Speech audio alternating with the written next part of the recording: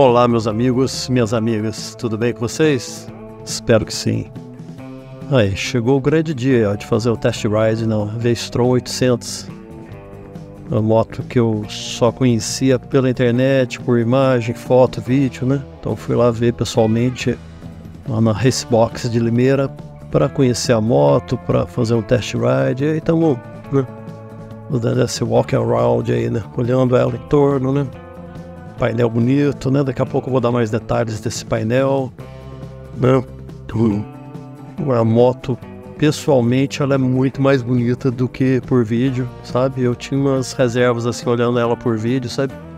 Ela pessoalmente é muito harmônica. Eu, eu tinha uma dúvida assim desse painelzinho, desse farol pequeno. Eu achava coisa meio estranha no vídeo, mas pessoalmente é muito bonita, muito bonita mesmo. Essa cor tá muito bonita também né?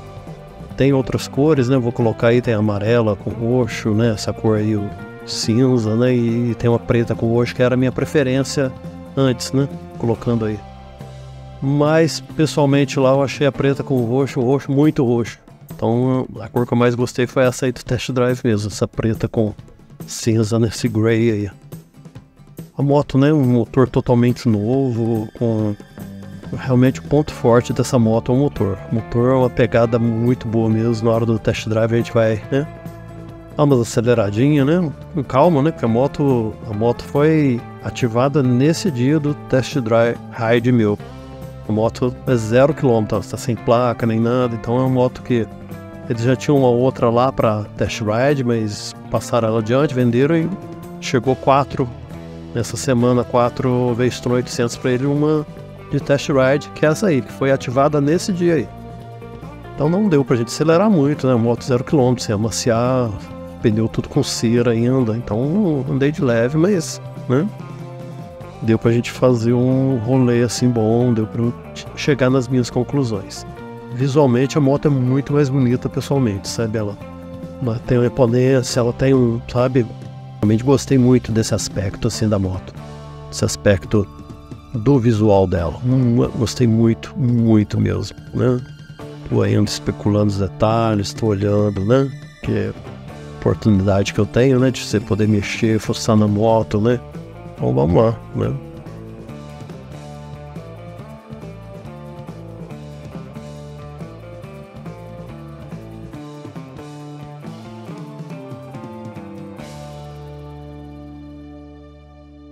Aí esse aí é o Fernando, né? É o funcionário lá, né? O colaborador da Racebox que me atendeu. Foi ele que me vendeu a minha, a Suzy, né? Minha 650. Isso lá em 2021.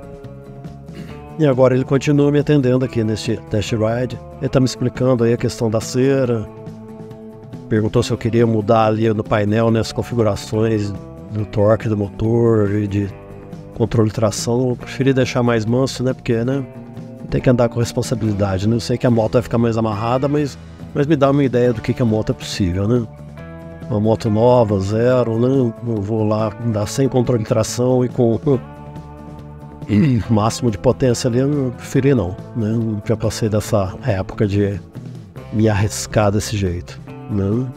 Mesmo assim, andando devagarzinho assim, dava para sentir às vezes a roda de trás, sabe? Só de acelerar um pouquinho, ela dava uma querendo escorregar para um lado para o outro assim. Né? Isso aí precisa rodar alguns quilômetros, pegar poeira, um pouco de água para esse pneu realmente sair essa cera que vem de fábrica, que é para proteção do pneu. Né? Sigo aí atrás do Fernando e já dando as minhas é, minhas primeiras impressões, né? Vou colocar aqui um pouco o, o som da moto para vocês escutar um barulho muito bonito, muito bonito mesmo. O caminhão quase me fechou aí, mas tudo bem. Lá. Seguindo ali o Fernando. Passamos o radar. Vamos ver se vai dar pra dar uma esticadinha aqui, né? Como eu falei, sempre de leve, né? sempre, né? Vamos lá, olha. O zoom do painel. Opa! É, é, vigorosa a aceleração dela, né? Vocês viram só de segunda, uma beliscada ali, ela dá aquele pulo adiante. Né? Ponto alto dessa moto é realmente o motor. Esse motor ficou sensacional, né? são 84 cavalos, sabe? Mas o modo de entrega da potência é muito prazeroso, é muito, é muito gostoso mesmo. É uma potência que já está disponível ali, média rotação já está disponível esse torque, essa, né? isso torna muito agradável assim a, a condução da moto. Agora entrando assim, né, eu não pude usar, utilizar o som lá, o que eu falei, avaliação eu fazia na hora, porque o meu microfone deu problema e ficou com ruído, ficou imprestável o som lá que eu gravei com a GoPro. Por isso que eu tô fazendo essa gravação aqui por cima e é até bom que a gente faz uma avaliação assim mais serena, menos emocionada, né? Essa moto, vou colocar aqui na tela para vocês, né, as medidas que ela tem. Suspensão traseira 220 mm, é alta, né? Dianteira 220 mm também. Roda dianteira, né, aro de 21 polegadas. O grande pênalti dessa moto que eu acho é os dois pneus são sem, com câmara, com câmara, é uma coisa para mim inadmissível, né?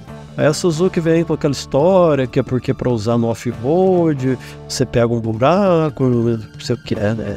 papo frato é para cortar custo, para cortar custo de produção, né? Mandar para o mercado terceiro mundo ou mandar, né, o aro para roda, né, para o pneu sem, sem câmera, um aro diferente e de custo mais caro um pouco, né? E olha essa grande altura do solo aqui, 220 milímetros também, né? Engraçado, né? 220, né? Traseiro na frente, distância do solo. Né? Ou seja, é uma moto, uma pegada mais off-road, realmente mais trail, né? Ela, por isso que a Suzuki manteve a Vestron 650, né? Quando anunciou lá, no final de 2022 começou a anunciar a Vestron 800, todo mundo imaginou, vai, vai entrar no lugar da 650, negativo. 650 tá aí, modelo 2025 rodando aí, não tem previsão para breve de sair de linha 650. São motos com propostas completamente diferentes. A 650 é uma moto crossover, para você pegar um asfalto desse aí embora, te entrega um conforto, um banco macio, né? né? Apesar dessa terceira geração, né? Já tem aí, né? Desde 2018, né? Já são seis anos, mas realmente é uma moto muito boa. Eu, tô, eu tenho ela e eu posso falar. Uma moto muito boa para esse propósito de estrada, de viagem, né? Para terra ela não, não é a área dela não. Para terra você passa perto, você tem que, né? Você anda, né? Na terra, né? No, no, no, pega uma estrada assim sem pavimento, mas quase 650, mas né, vai mais ou menos. Agora essa aqui, ela vai bem na estrada? Vai, né? Mas a pegada dela é off-road, até mesmo por causa da altura de subir na moto. Uma coisa que eu realmente, para mim, pegou muito. Eu não sou um cara assim, pau baixo, eu tenho 1,84. Mas eu ficava na ponta do pé dela na ponta do pé, parada ali na ponta do pé. Eu achei ela muito alta, essa moto, muito alta. O que é uma qualidade para alguns propósitos, é claro, né? Para outros, não. Então ela tem uma proposta completamente diferente da 650. Eu essa bolha pequena assim desse jeito é o vento no peito, na cara, é, né, essa bolha aí não, nessa velocidade que está aí pelo menos 70, 80, 90, não protege nada. Talvez se aumentar a velocidade vai proteger, Pode ser, né? Que cria né, uma, uma bolha aerodinâmica ali, né? Um, um vácuo ali que talvez comece a proteger mais. Pode ser. Não cheguei nessas velocidades maiores para ver isso, mas claramente a pegada dessa moto é uma pegada mais trail, mais off-road. Vai andar na estrada muito bem? Vai, vai andar na estrada muito bem, mas é quem é para quem quer fazer aquelas expedições mesmo, né? Quer se aventurar aí, né? Estrada Real, Estrada Diamante, Chuaia, né? É uma big trail que tem essa proposta. Você vai no, no asfalto, você vai bem, mas vai no hippie também, vai na terra, vai no fora de estrada, ela vai te entregar isso que você quer. Não é a proposta que eu procuro, por isso foi muito bom fazer o test ride nessa moto, na V-Strom 800. Ela, ela tem um pacote de eletrônica bem bacana, vou colocar na tela aí para vocês, né? Que é o Sears, né? Que a Suzuki chama, né? Que é o conjunto eletrônico dela, né? O, o Suzuki Drive Model Selector, né? Que é controla a entrega ali do motor, né? Do, uma entrega mais explosiva, né? Ou assim, mais contida um pouco, né? Nenhum dos modos A, B ou C limita a potência máxima do motor, não é isso, sabe? Ele muda a entrega, né? Por exemplo, no A, aquela curva mais acentuada, é aquela coisa mais explosiva, né? Controle de tração, né? Normal, que dá para desligar. Ride by Wire Electronic Throttle System, né? O acelerador não é por cabo, isso dá uma sensibilidade bacana, fica é, é gostoso de pilotar, né?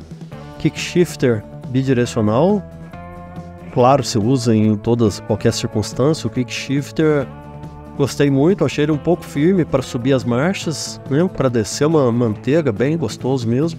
Talvez seja só falta de costume meu, né? Mas é, funciona muito bem, né? Kick shift é para você trocar as marchas sem usar a embreagem, tanto para subir como para descer. É muito bom, é muito bom. Usa muito no off-road, no trail, né? Você está pilotando em pé e tal, mas também em estrada, também em qualquer condição você usa no urbano, né? Bem legal mesmo, né? Aqui o modo gravel, né? Que é nos, nos modos lá de, de controle de tração. Esse modo gravel, né? Que é grama, né?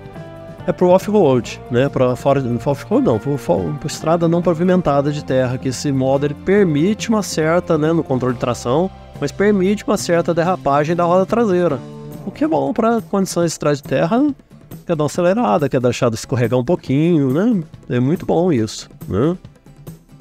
A possibilidade de desligar o ABS traseiro. Aí olha, olha o, o sangue off-road dela, sangue trail, né? Suzuki Star System, né, que já na 650 tem também, né, você dá um toque ali no botão de partida, ela já faz o processo todo. Se, se por alguma razão tiver muito frio, ela, o motor de partida precisar ficar um pouco mais assim, uma, algum 2, 3 segundos ligado, não importa, você dá um toquezinho ali, ela, ela faz o procedimento de partida. Low RPM Assistant, né, que é para você tá assim em baixa velocidade, ela, ela dá um pouquinho de motor assim para a moto não morrer.